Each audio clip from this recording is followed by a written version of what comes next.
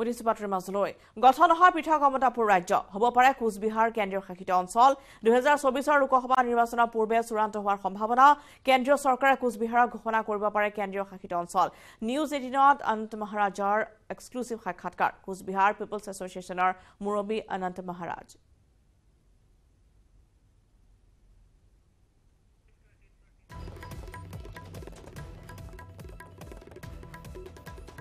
কৰ্ণাটক ৰাজ্য গঠন নহয় কোচবিহাৰ কেন্দ্ৰীয় শাসিত অঞ্চল হ'ব পাৰে। দুহেজাৰ চৌবিছৰ লোকসভা নিৰ্বাচনৰ পূৰ্বে চূড়ান্ত হোৱাৰ সম্ভাৱনা কেন্দ্ৰীয় চৰকাৰে কোচবিহাৰ ঘোষণা কৰিব পাৰে কেন্দ্ৰীয় শাসিত অঞ্চল হিচাপে। নিউজ এইটিনত এই কথা জনাই অনন্ত মহাৰাজৰ তেওঁৰ সৈতে হোৱা এক্সক্লুচিভ সাক্ষাৎকাৰত ইতিমধ্যে আমাৰ সতীৰ্থ সাংবাদিকৰ সৈতে তেওঁ সেইসমূহ কথা ব্যক্ত কৰিছে কোচবিহাৰ পিপলছ এছ'চিয়েশ্যনৰ মুৰব্বী অনন্ত মহাৰাজে আৰু বহুকেইটা উল্লেখনীয় মন্তব্য আগবঢ়ায় এই সাক্ষাৎকাৰত।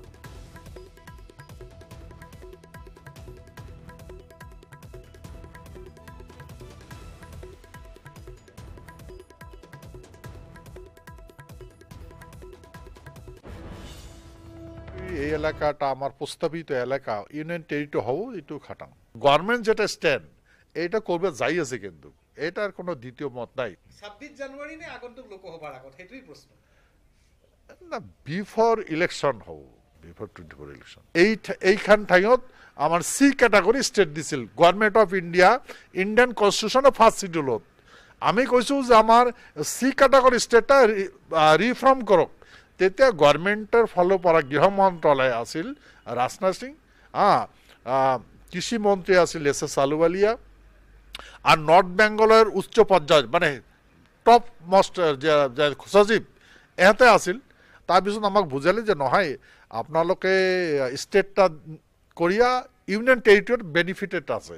গতিকে ডাইৰেক্ট চেণ্ট্ৰেল গভৰ্ণমেণ্টে ইনভেষ্ট কৰিব পাৰিব। হা আপোনাৰ এক্সক্লুচিভ ডেভেলপ হ'ব যাৰ কাৰণে ৰুট মেপটা বুজাৰ পিছত আমি এটা একচেপ্ট ডান কৰিছোঁ। ঠিক আছে আমাক ইউনিয়ন টেৰিটৰি বনাই দিয়ক।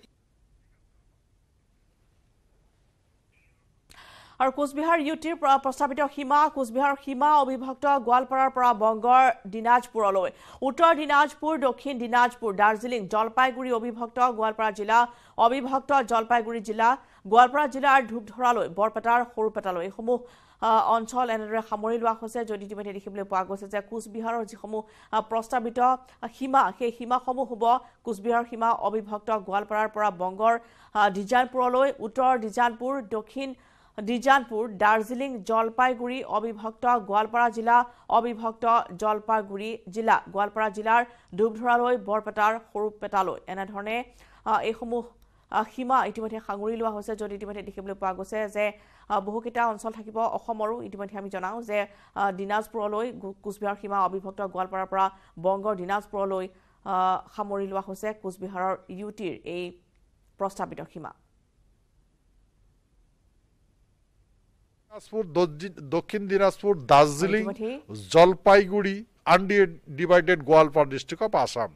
এইখানি as per Indian independent act মতে Coochbehar undivided Jalpai Jalpaiguri district আনডিলিং undivided Darjeeling district undivided Goalpara district.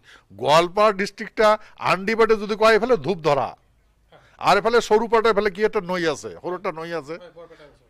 পা- না না না পার হই। সৰু পেটা পাৰ হৈ এটা ন- নৈ আছে। হ্যাঁ হ্যাঁ এইখানেই এইখানেই আছে। তো এইখানে আর এইফালে ধূপ ধরা। হলদিপাড়ার পর যেখানে মহারাজা শাসন করছিল এটা আছে অ্যাডজাস্টিং আজ ইনক্লুডিং মানে গ্রেটার কুচ কুচবেটা গেটার হয়েছে তেতিয়া অ্যাজ পার ইন্ডিয়ান ইন্ডিয়ার মধ্যে গেটার হয়েছে। গোয়ালপাড়া আহিল দার্জিলিং জলপাইগুড়ি, ওই দার্জিলিংটা আমার শখের শহর। ব্রিটিশের কোম্পানির লগত আমি এটা দার্জিলিংটা বনাইছিলো।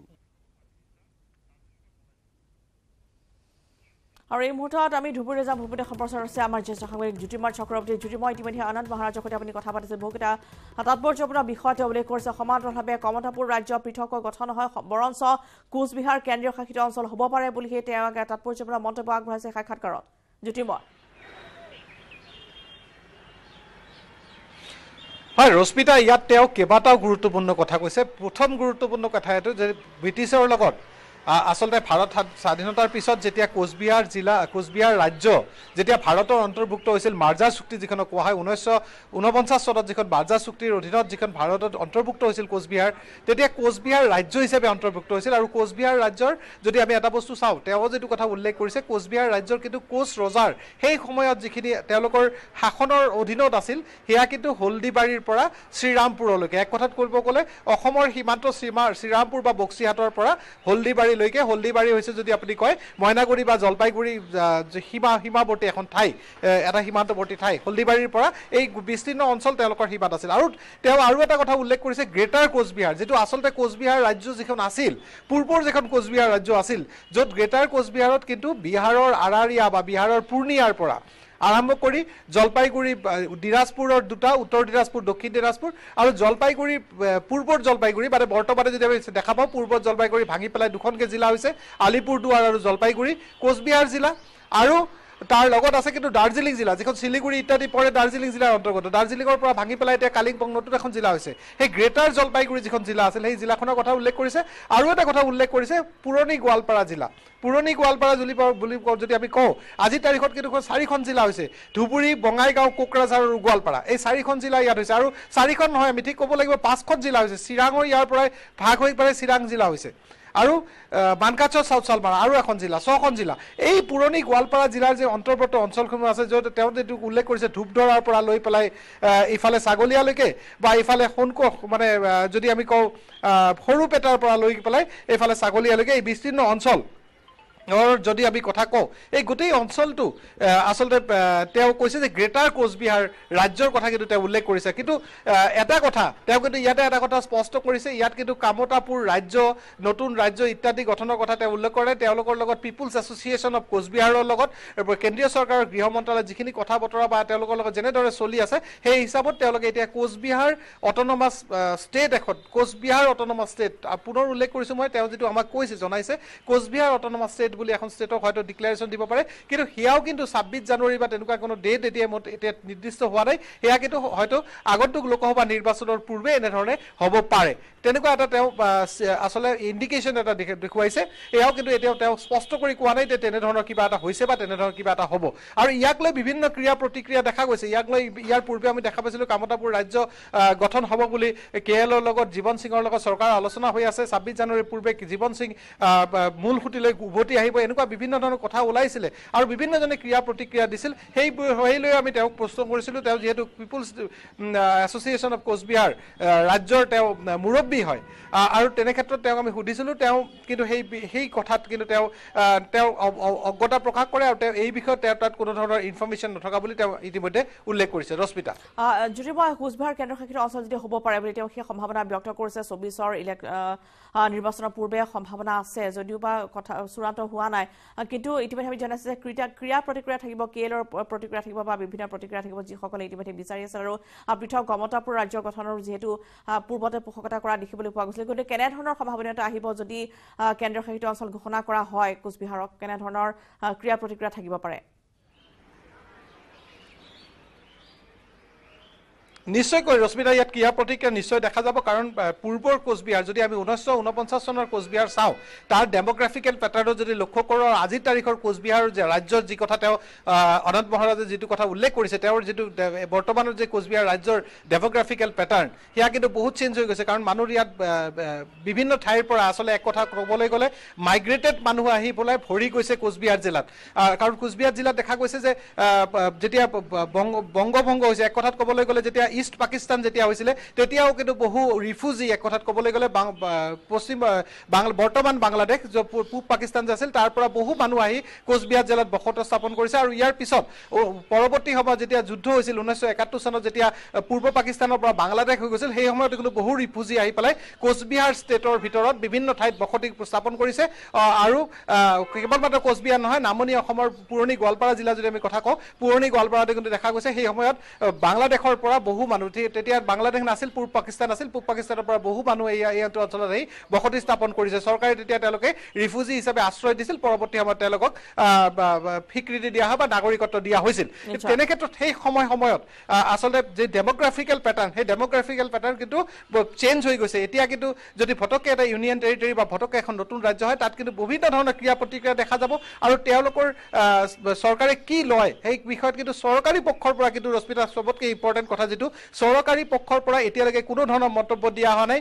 এতিয়া কেৱল মাত্ৰ বিভিন্ন দল সংগঠনে মন্তব্য দি আছে। চৰকাৰৰ পক্ষৰ অসম চৰকাৰে হওক বা পশ্চিমবংগ চৰকাৰে হওক এই বিষয়ত কিন্তু কোনো ধৰণৰ মন্তব্য দিয়াৰ পৰা বৰ্তমানে বিৰত আছে। নিশ্চয়কৈ জ্যোতিৰ্ময় ধন্যবাদ জনাইছোঁ। আমি গোবিন্দ অধিকাৰীৰ সৈতে সংযুক্ত হৈছোঁ। গোবিন্দ অধিকাৰীয়ে এই সন্দৰ্ভতো শেহতীয়া খবৰ জনাব। গোবিন্দ যিহেতু ইতিমধ্যে দেখিবলৈ পোৱা গৈছে পৃথক কমতাপুৰ ৰাজ্য নহয় কোচবিহাৰ কেন্দ্ৰশাসিত অঞ্চল হ'ব পাৰে বুলি যি অনন্ত মহাৰাজনৰ যি এক্সক্লুচিভ সাক্ষাৎকাৰ তাত বহুকেইটা উল্লেখনীয় মন্তব্য তেওঁ আগবঢ়াইছে। আপুনি কি ক'ব এই সন্দৰ্ভত?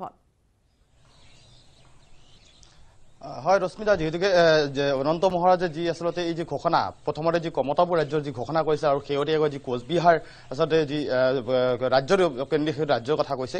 আৰু আমি পুৱাৰে পৰা যিহেতুকে এ, অসম আৰু অসম আৰু গোলকগঞ্জ এলেকাটো আচলতে বা ধুবুৰী এলেকা আৰু কোচবিহাৰৰ লগত এটা সংলগ্ন জিলা। গতিকে ৰাতিপুৱাৰ পৰা যি বিভিন্ন কোচ ৰাজবংশী সংগঠনৰ বিভিন্ন সদস্য বা বিভিন্ন নেতাৰ লগত আমি যোগাযোগ কৰিছিলোঁ। এই সম্পৰ্কত কোনো ধৰণৰ মন্তব্য দিয়াৰ পৰা বিৰত থাকে আৰু অনন্ত মহাৰাজে এই ঘোষণা কৰাৰ লগে লগে যে কোচবিহাৰ জিলাতো দেখা গৈছে যে বিভিন্ন ক্ৰিয়া প্ৰতিক্ৰিয়া আৰম্ভ হৈছে।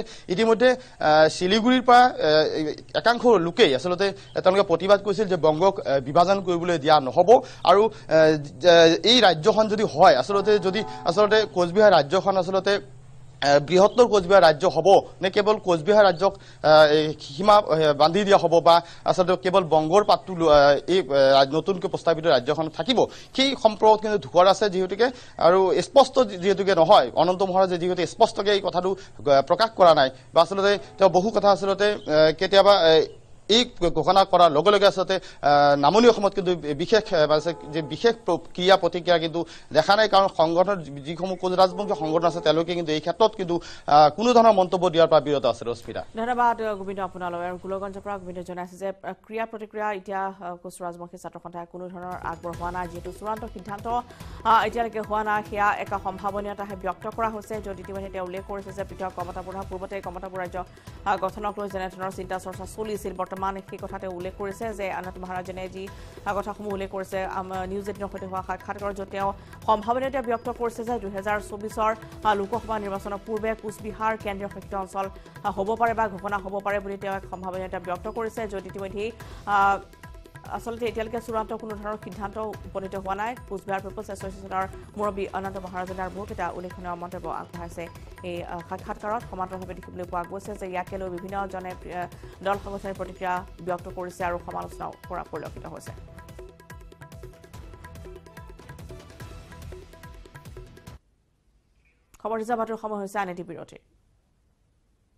সাধাৰণ ষ্টীল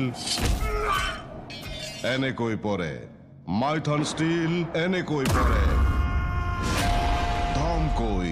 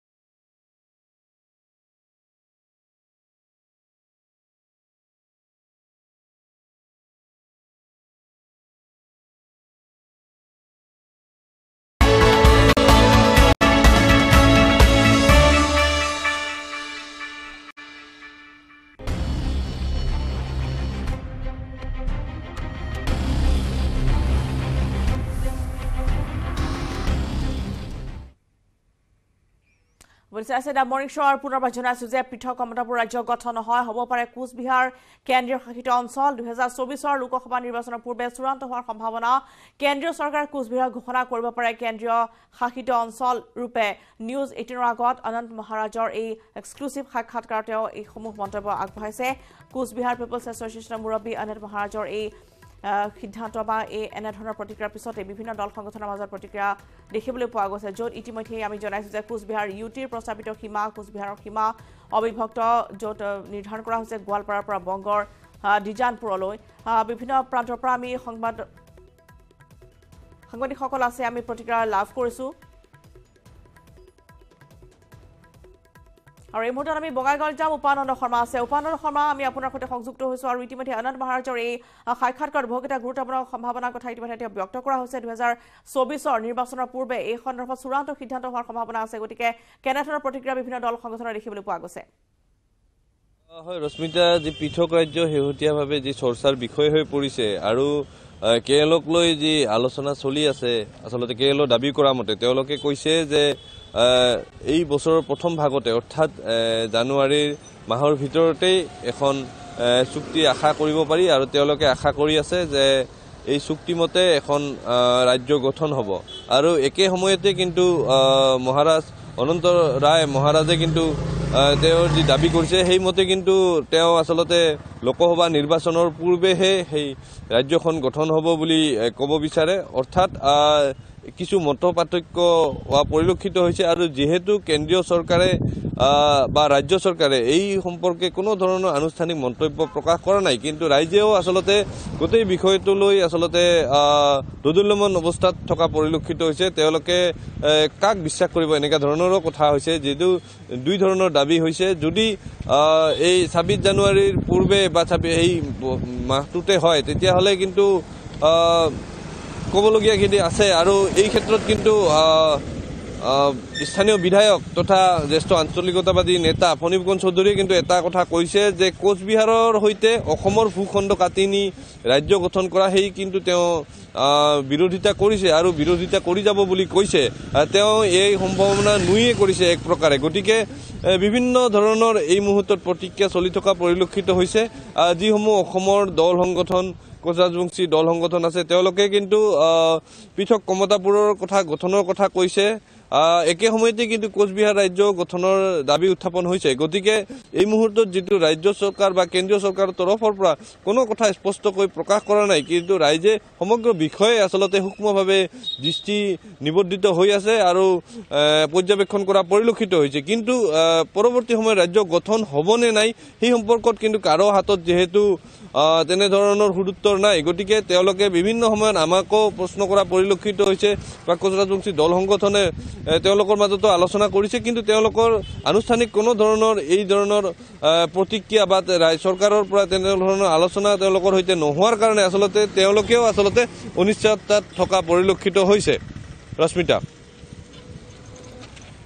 ধন্যবাদ জনাইছোঁ উপানন্দ আপোনালৈ। আৰু ইতিমধ্যেই উপানন্দে জনাইছে যে কোনো ধৰণৰ প্ৰতিক্ৰিয়া বা সঠিক সিদ্ধান্ত যিহেতু এতিয়ালৈকে হোৱা নাই গতিকে প্ৰতিক্ৰিয়া দিয়াৰ পৰা বিৰত আছে কোচ ৰাজবংশী ছাত্ৰ সন্থাও। সমান্তৰালভাৱে কমতাপুৰ ৰাজ্য কাটি নিয়া বা গঠন হ'ব নে নহয় তাক লৈও এতিয়া চিন্তা চৰ্চা চলিছে। যিহেতু সময় হয়তো ব্যক্ত কৰা হৈছে যে ছাব্বিছ জানুৱাৰীৰ প্ৰাকখনত বা ছাব্বিছ জানুৱাৰীৰ পূৰ্বে কোনো এটা সিদ্ধান্ত লোৱা হ'ব। কিন্তু ইতিমধ্যেই আনন্দ মহাৰাজৰ যি সিদ্ধান্ত তেওঁ উল্লেখ কৰিছে যে দুহেজাৰ চৌবিছৰ যি লোকসভা নিৰ্বাচন সেই নিৰ্বাচনৰ পূৰ্বে হয়তো এই সন্দৰ্ভত এক চূড়ান্ত সিদ্ধান্তত উপনীত হ'ব আৰু কেন্দ্ৰীয় চৰকাৰৰ তৰফৰ পৰা তেওঁলোকে সেই এই সন্দৰ্ভত এক চূড়ান্ত দিশ লাভ কৰিব বা সম্ভাৱনীয়তাৰ কথা ব্যক্ত কৰা হৈছে।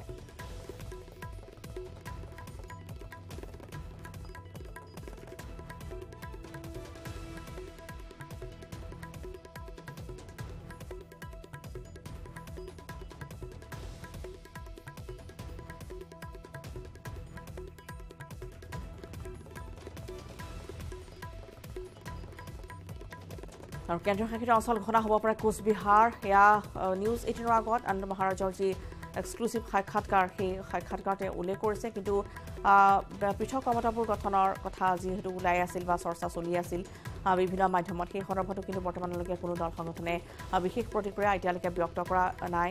দেখিবলৈ পোৱা হোৱা নাই। কিন্তু ইতিমধ্যে কৈছো ৰাজনৈতিক ছাত্ৰ সন্থাৰ যি প্ৰতিক্ৰিয়া সেয়া জানিব পৰা হোৱা নাই। সমান্তৰালভাৱে কে এলৰ সৈতে যিটো আলোচনা চলি আছে গতিকে সেই আলোচনা কোন দিশত আগবাঢ়িব বা সেই সন্দৰ্ভত কি সিদ্ধান্ত গ্ৰহণ কৰা হ'ব সেয়া নিশ্চয়কৈ পৰৱৰ্তী সময়তহে আহ, উল্লেখনীয় হ'ব বা এই সন্দৰ্ভত চূড়ান্ত সিদ্ধান্ত লোৱা যাব।